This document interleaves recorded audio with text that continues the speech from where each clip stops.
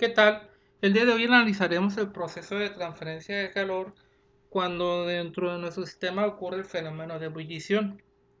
Eh, la transferencia de calor bajo este tipo de fenómenos es un poco más complejo que la que analizamos cuando ocurre el fenómeno de condensación. La razón es debido a los diferentes escenarios que pueden ocurrir durante este régimen de ebullición. Para poder entender eh, cómo se comporta la transferencia de calor, me gustaría primero describirle los procesos que ocurren dependiente en, la diferencia que hay entre la temperatura de saturación del fluido de interés y la temperatura eh, de la superficie de calefacción del fluido. Consideremos un recipiente eh, cuyo fondo es calentado y nos permite mantener una temperatura constante TS. Y tenemos un fluido cuya temperatura de saturación hemos denominado TSAT. Eh, les recuerdo que esta temperatura de saturación depende eh, de la naturaleza del fluido, es decir, es muy diferente la temperatura de ebullición del agua que del etanol y obviamente que también dependerá de, de la presión del sistema. Por ejemplo, eh, sabemos que el agua hierve a 100 grados cuando estamos a condiciones de una atmósfera. Si incrementamos la presión atmosférica, es esperar que esta agua hierva a una temperatura mayor. Bueno, quedando esto eh, en claro, eh, si yo realizara experimentos y pudiera controlar la temperatura del fondo del recipiente y luego tener un agua eh, en condiciones de saturación, es decir, bajo condiciones de ebullición, ya prácticamente podré tener diferentes escenarios. Por ejemplo, si la diferencia entre la temperatura del fondo del recipiente y la temperatura de saturación del fluido es entre 1 y 5 grados, veré que conforme incremento la temperatura del fondo del recipiente, el flujo de calor prácticamente empieza a incrementar de forma lineal. Y esto ocurre debido a que el único proceso que ocurre dentro del recipiente es un fenómeno de convección libre. El, fluido eh, en el fondo del recipiente, al ser calentado, disminuye su densidad y esto desplaza al líquido hacia la parte superior. Al momento de llegar a la parte superior, desplaza el fluido frío de la parte de arriba hacia el fondo y tenemos un movimiento continuo de arriba hacia abajo dentro del recipiente. Si por otra parte seguimos incrementando la temperatura de calefacción, es decir, eh, tenemos los medios para variar la temperatura del fondo del recipiente y lo llevamos de 5 a 10 grados, eh, lo que observaremos ahora es la formación en el fondo del recipiente de burbujas, pero son pocas y son aisladas. ¿Qué veremos? Veremos que conforme también incrementamos esta temperatura, de la eh, placa del fondo del recipiente, veremos que el, calor transmitido también se empieza a incrementar, pero cambia su pendiente. ¿sí? De hecho, se acrecenta de una manera más rápido. Bueno, eh, la razón por que el flujo de calor se incrementa al incrementar la temperatura de la placa de calefacción es debido a que tengo un mayor gradiente de temperatura, lo que me promueve un mayor eh, flujo de calor de, mi eh, placa eh, inferior que funge como fondo del depósito al fluido mismo. Fíjense que va a llegar un momento en que estas burbujas aisladas van a empezar a formar chorros o columnas de burbujas. Y va a ocurrir que conforme yo incremente la temperatura del fondo del recipiente, el flujo de calor ya no va a crecer de la misma manera que lo hacía anteriormente, sino va a ir perdiendo eh, eh, ese, esa misma pendiente que tenía originalmente, va a ir decayendo. Y se va a, a separar del comportamiento lineal esperado que teníamos cuando teníamos la situación de burbujas aisladas. Fíjense que esto es debido a que la formación de burbujas, eh, obviamente que mejora, aunque mejora la, transferencia de calor por este efecto de mezclado que genera dentro del fluido contenido en el recipiente, eh, desfavorece en que la superficie efectiva de calefacción se disminuye. Eh, las regiones donde se está generando este vapor, pues tenemos una transmisión de calor muy pobre. Esto es debido a que el vapor posee una conductividad térmica muy baja comparado al agua líquida. Entonces la región donde realmente es más efectiva la transferencia de calor es la región donde no existen estas columnas de burbujeo. Bueno, si nosotros continuamos con el experimento de ir incrementando la temperatura de la superficie de calefacción, vamos a llegar a un punto donde vamos a alcanzar un flujo de calor máximo. A partir de ahí, de ese punto, eh, el flujo de calor va a empezar a disminuir. La razón es porque se va a ir formando una película de vapor entre la placa de calefacción y nuestro fluido saturado. Esto, eh, conforme esta película se empieza a formar y a cubrir más área dentro de la superficie de calefacción, bueno, el flujo de calor va disminuyendo. Fíjense que uno va incrementando la temperatura, pero conforme uno incrementa la temperatura de calefacción, lo que está logrando es que el área de calefacción es cubierta por una mayor porción de vapor hasta llegar a un punto mínimo de flujo de calor que se designa punto de Leidenfrost. A partir de este punto, se puede establecer que ya se tiene una película de vapor estable entre la placa de calefacción y el fluido eh, en condiciones saturado. Y bueno, a partir de este punto, si nosotros seguimos incrementando la temperatura, retomamos el efecto anterior que ya teníamos y el flujo de calor empieza a crecer de nueva cuenta. La razón es simple, se mantiene en la película eh, la película, a pesar de que es un muy mal conductor de calor, estamos hablando de la película de vapor que hay entre el fluido y la placa de calefacción, se da un fenómeno de radiación. Entonces ya la transferencia, eh, eh, que en, instancia, cuando alcanzamos el punto de Leidenfrost, está prácticamente regulada por la conducción térmica a través de la película de vapor, empieza a perder eh, valor comparado a los efectos de radiación térmica. Es decir, se va a generar un efecto de radiación térmica entre lo que viene siendo la superficie de calefacción y nuestro fluido en condiciones de saturación. Estaría hablando de forma líquida, ¿no? Entre esa película va a haber una radiación eh, de calor en forma de onda electromagnética que es lo que va a propiciar que se siga calentando el sistema. Bueno, ustedes dirán, ¿y cómo yo logro cambiar la temperatura del, fondo del recipiente? Pues recuerden que si yo uso un combustible, eh, vendrá en juego la temperatura de flama del combustible, que es una relación entre la mezcla del combustible y el aire que esté utilizando. Eh, les recuerdo de que hay una limitación de temperatura máxima. Eh, si yo quisiera alcanzar temperaturas mayores, lo que hago es tomar un aire y lo enriquezco con oxígeno. Porque es bien importante el enriquecimiento con el oxígeno. Fíjense que estamos hablando del efecto de la combustión, que es lo que me permite calentar la, la placa de calefacción. Es debido a que el aire trae nitrógeno. Y durante el proceso de combustión, ¿sí? el calor liberado calienta a los gases de combustión y el nitrógeno absorbe este calor, es decir, el nitrógeno funge como una especie de amortiguador térmico. Entonces, si yo quisiera alcanzar temperaturas mayores, mi eh, gas de combustión debería ir enriquecido más en oxígeno que en cualquier otro gas. Entonces yo puedo eh, regular de alguna manera eh, la temperatura de los gases de combustión. Por supuesto, esto no es suficiente. También tiene que haber el tiempo de contacto que hay entre los gases de combustión y la placa de calefacción. Ahí es donde uno va a poder regular cuánto calor le transfiere de la combustión directa hacia la placa. Y recuerden que este calor, después de pasar a través de la placa, pasa hacia el fluido que está en ebullición constante.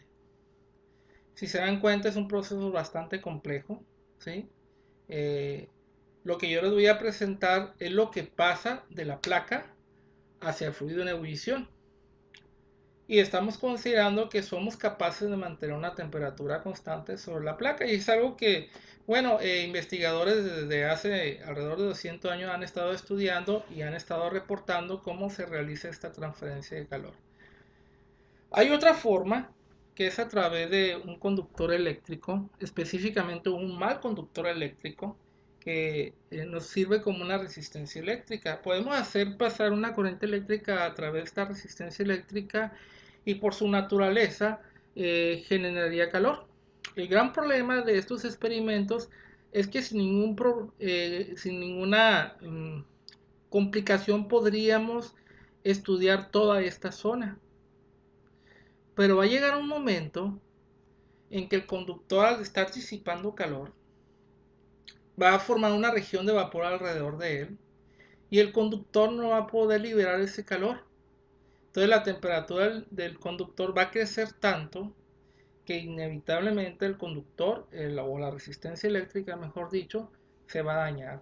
Entonces experimentos a través de resistencia eléctrica eh, son muy precisos, se pueden realizar, pero eh, no podemos estudiar toda la zona de interés. Ahora, ¿por qué es importante entender todo este fenómeno? Fíjense que si, por ejemplo, nosotros queremos transferir calor, hay un punto bien importante que debemos de considerar, que es el punto de Leidenfrost. ¿Por qué? Porque debemos asegurarnos que estemos del lado derecho pues esto nos va a garantizar un proceso más estable. Si yo por lo contrario no tengo control y estoy del lado izquierdo, puede ocurrir que la película de vapor que se haya generado eh, de alguna manera colapse. Entonces el calentamiento del fluido hará que, o el mismo sistema, fíjense qué interesante, hará de forma natural, por un descontrol del sistema mismo, que la placa se empiece a enfriar y esto nos llevará a la región de lo que viene siendo de la formación de burbujas. Ustedes dirán, pero hay una mayor transferencia de calor. Sí, pero tenemos una menor temperatura eh, de la placa. Entonces son aspectos que debemos de considerar al momento de hacer el diseño.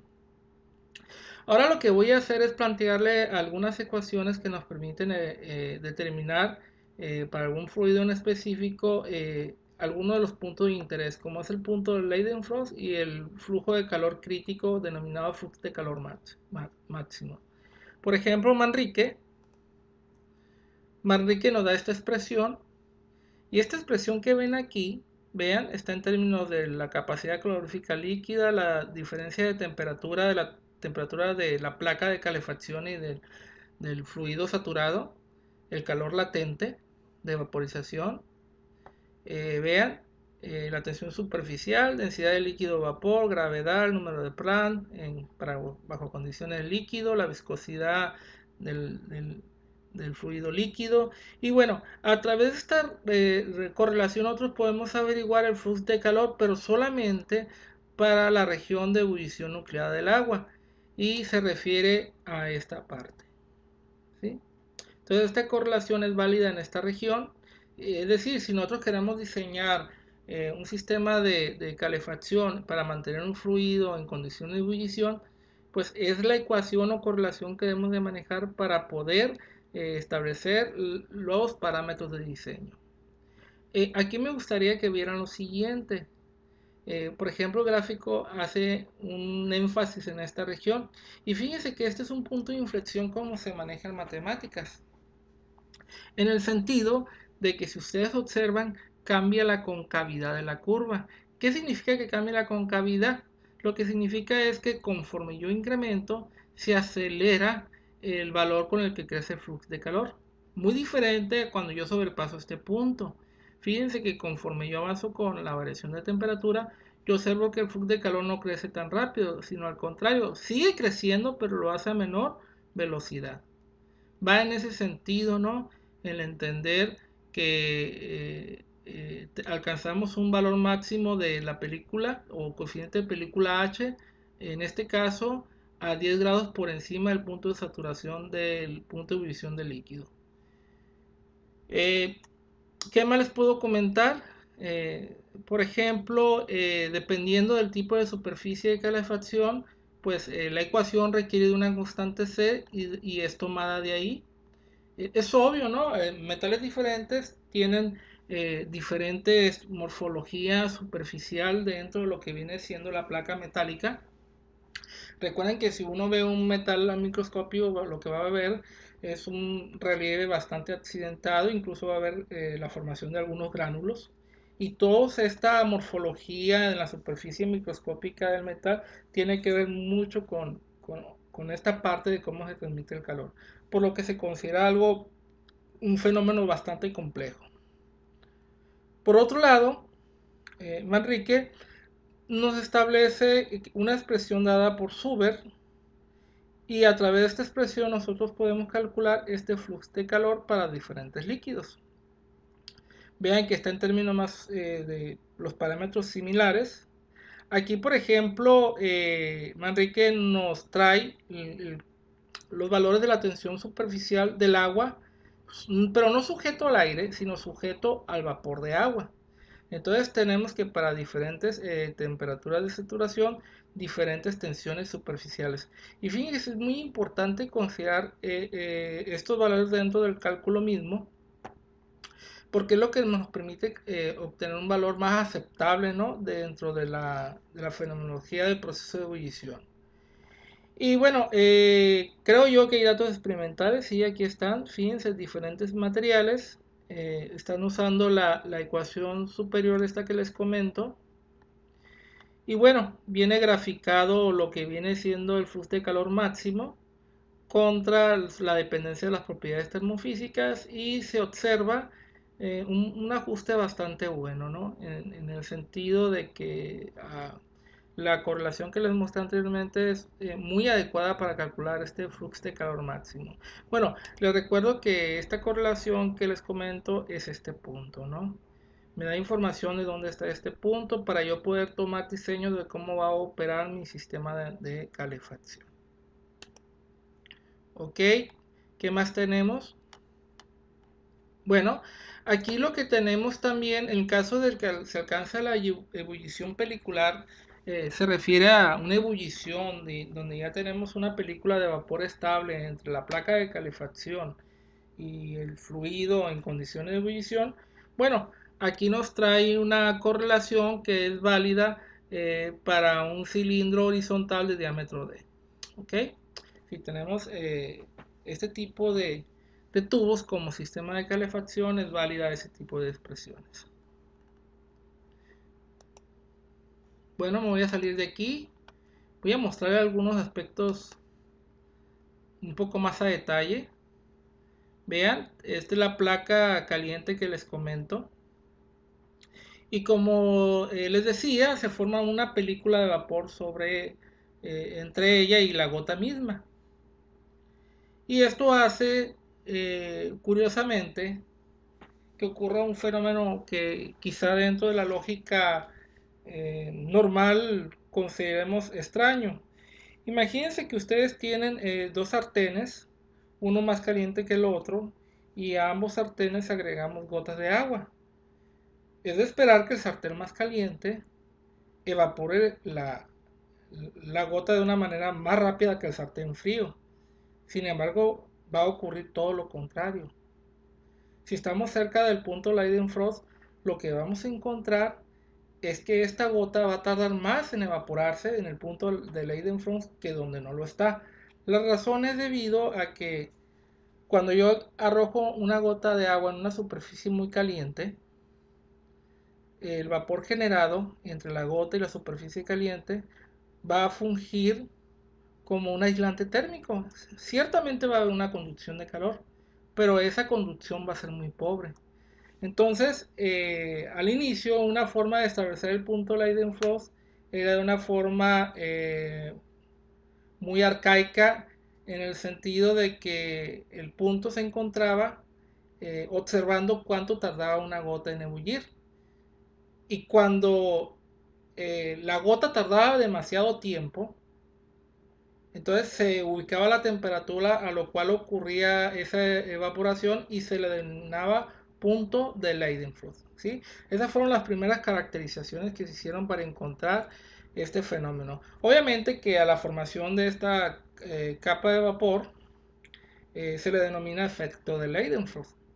Y bueno, fue gracias a este señor, que es a ese se apellida, que hizo los experimentos eh, formales y pudo entender el, fenómeno que acontecía dentro de, esta situación, ¿no? de cómo ocurría la transferencia de calor. Eh, aquí hay un pequeño video. Vean, vean cómo la gota está bailando. ¿Sí? el hecho de que esta gota esté bailando es debido a esta película de vapor que hay debajo de la gota y esto va a ocasionar que esta gota tarde mucho más tiempo en evaporarse que si estuviera en una superficie más fría. Obviamente que cuando me refiero a fría me estoy refiriendo a una temperatura por arriba de la temperatura de saturación del líquido, ¿sí? ¿Sí? Por arriba de ese rango al menos. Pero lejos de, ese valor.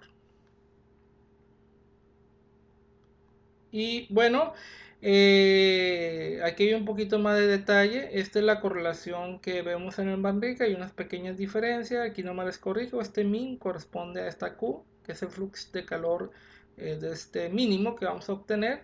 Y les recuerdo que esto nosotros nos permite calcular lo que llamamos punto eh, de Leidenfrost. Y bueno, eh, ya empiezan las correlaciones. Entonces eh, tenemos en el caso para un tubo, ¿sí? Eh, no nos dice si es horizontal o no, habría que revisar la referencia. No da la, correlación respectiva, es la ecuación de Bromley. Y bueno, nos dice que si la, constante vale 0.62 para cilindros y placas verticales horizontales. ¿sí? imagino que se refiere a cilindros horizontales, habría que ver más a detalle realmente de dónde viene la correlación, buscando la referencia correspondiente, que de hecho aquí está anotado, siempre no hay que quedarse con la duda, hay que revisar la fuente original, y dice que punto 67 para esferas, ¿no? Y bueno, ya viene otra eh, ecuación más, Berenson para superficies horizontales, ¿sí? Y bueno, eh, otra más que es para tubos verticales eh, de Sud, de Westwater. Y bueno, con la misma utilidad, ya en términos de, una, de un flujo de, masa ¿no? dentro del tubo, ¿sí? un flujo másico. Y bueno, así podemos seguir buscando este tipo de, de correlaciones. Aquí lo importante es que establezcamos dentro de nuestro proceso de ebullición en qué región vamos a operar si vamos a operar por encima del punto de Leidenfrost, si vamos a operar en la región de convección libre, si vamos a operar en la región eh, eh, nucleada de, burbujas. La palabra nucleada se refiere al hecho de que cuando se forma una burbuja de vapor, generalmente se forma alrededor de alguna irregularidad en la superficie o alguna partícula adherida a la superficie ¿sí? Esto es debido a que esto le ocasiona mayor área de transferencia. Entonces, generalmente estos son los puntos eh, donde vamos a empezar a ver la formación de burbujas. Creo que es algo muy parecido a cuando cae un rayo. Cuando cae un rayo, si ustedes observan, generalmente los rayos prefieren las superficies que presentan la mayor superficie por unidad de volumen. Y esto lo podemos observar en los árboles. Si nosotros hiciéramos una relación de superficie por volumen de árbol, nos daríamos cuenta que las ramas tienen esa mayor área que otro tipo de materiales. Y no porque el árbol sea un buen conductor eléctrico, sino va más en ese sentido. Y bueno, eh, si nosotros vamos a operar en algunas de estas regiones, debemos de tenerlo presente y acorde a la región donde vayamos a operar, a tomar la correlación correspondiente, ¿no? Si vamos a trabajar en la región nucleada, como les comenté, o cerca del punto Leidenfrost, o muy lejos del punto Leidenfrost. Bueno, yo les comenté que lejos del punto Leidenfrost, con temperaturas demasiado calientes, la radiación era el, mecanismo de transferencia de calor que tenía hegemonía ¿no? en este proceso de calentamiento. Bueno, ¿qué pasa en ese caso? En este caso, pues se han propuesto otras ecuaciones. Por ejemplo, eh, si yo ya estoy por encima eh, del punto de Leidenfrost, o más bien estoy ya con la película eh, de vapor generada entre la placa de calefacción y el fluido en ebullición, bueno, yo puedo considerar el uso de esta ecuación para de alguna forma formar una especie de promedio entre, o contribución, mejor dicho, entre la transferencia por convección y por radiación. Entonces, eh, Bromley ha sugerido este tipo de, ecuaciones para el caso de tubos horizontales. Y aquí es bien importante aclarar que nos referimos a la superficie exterior, porque eso es muy común que ocurra de esa manera.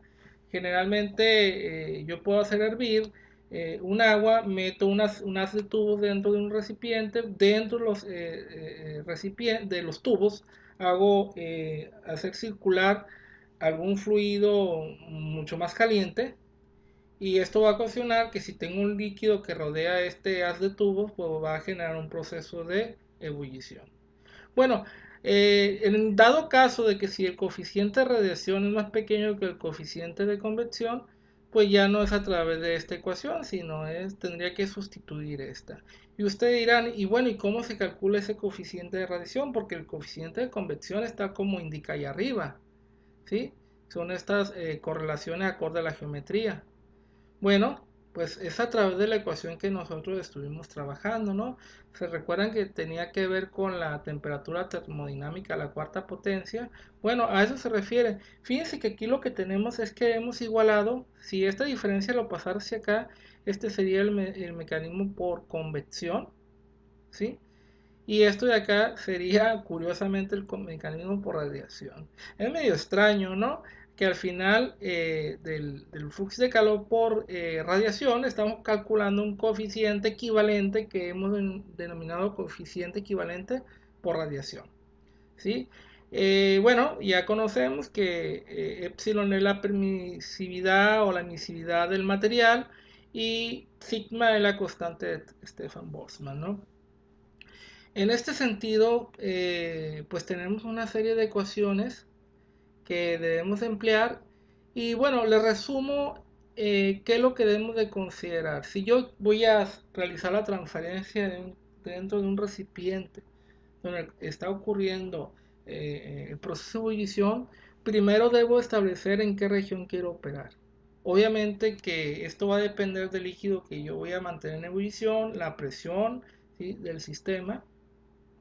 Ya establecido en qué región quiero operar, eh, bueno, eh, a partir de la geometría del sistema de calefacción tomaremos las correlaciones correspondientes, ¿no? Porque ya nos damos cuenta de que eh, los patrones, por ejemplo, de formación de burbujas es muy diferente a los que se forman en una olla, así como la de su casa, con un fondo plano, a una olla en la cual podemos introducir quizá un serpentín con varios dobleces en forma de es totalmente diferente el fenómeno de mezclado de forma natural que se forma por este tipo de chorro de burbujas. Ciertamente no lo podemos cuantificar a través de modelos matemáticos, es decir, a través de ecuaciones diferenciales, porque son procesos bastante complejos. Y generalmente este tipo de procesos eh, se asocian a correlaciones ¿no? entre las diferentes propiedades termofísicas del sistema. Eh, como les comento, no hay mucho que abundar ya que decidamos en qué régimen se va a operar, ¿sí? basado en la geometría del sistema de calefacción, tomaremos la correlación diferente. Obviamente que algunos valores como el Q mínimo y el Q max se pueden eh, eh, establecer.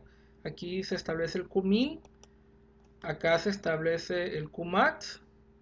Por lo menos eh, nos va a permitir tener una región de operación. Ustedes lo deciden a conveniencia de la operación como quieren que se realice.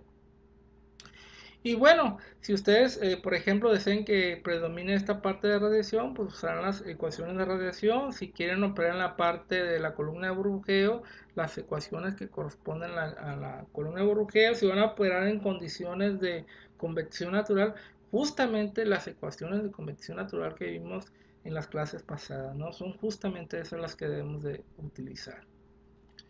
Eh, ejercicios, pues miren, eh, realmente, si la fuente fuera Manrique, nos damos cuenta que no hay mucho que preguntar, ¿sí? Les preguntan algunas cosas básicas, ¿no? Eh, eh, simplemente toman un problema que es ubicar realmente en, en, qué región está el sistema y usar la correlación apropiada, ¿no? Eh, sería interesante ver eh, dónde más eh, hay más información de esto. Yo les buscaré y les indicaré con un link o les subiré lo que viene siendo algún documento PDF para que ustedes puedan estudiar un poco más sobre el tema. fíjense que aquí lo importante, y se los reitero, no es tanto tener un super formulario de correlaciones, sino más bien entender los fenómenos que acontecen acorde al régimen de ebullición que, puede ocurrir, ¿no?